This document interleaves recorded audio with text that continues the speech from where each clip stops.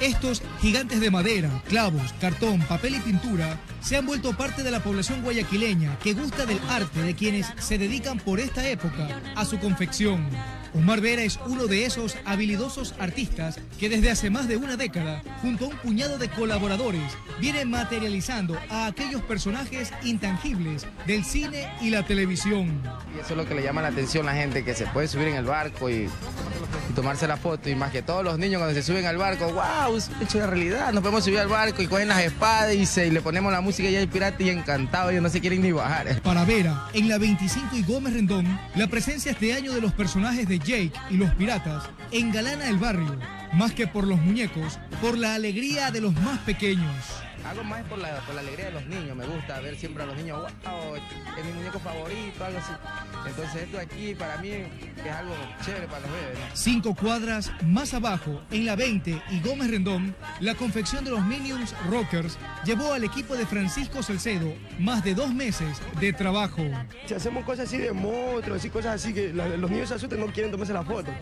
Ah, pero solo por eso preferimos cosas infantiles, cosas así que les gustan más a los niños. Aquí la gente en el barrio sí nos apoya aquí, que sí nos regala periódicos, nos apoya con pancartas, así, con cosas así, se nos dicen muchachos apóyennos y todo. Siguiendo el recorrido, la 23 y segundo callejón Francisco Segura goza de la presencia de un grupo de superhéroes que se impone en el sector a la inseguridad que a ratos hace de las suyas. De agosto comenzamos a trabajar con, con los monigotes.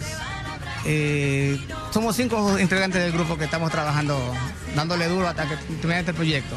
Todo el barrio sí nos ha apoyado, haciendo vincos para sacar fondos para poder trabajar con todo esto que estamos haciendo. ¿Cuánto más o menos han invertido ustedes en la producción de estos eh, exactamente pasa de los mil dólares en los monigotes. Federico Flores indica que el éxito de las construcciones de cada año es la participación y dedicación que le imprimen los lugareños al momento de ponerse manos a la obra. el año yo hicimos el Transforme Optimus Prime y ante, año anterior fue a Frixe.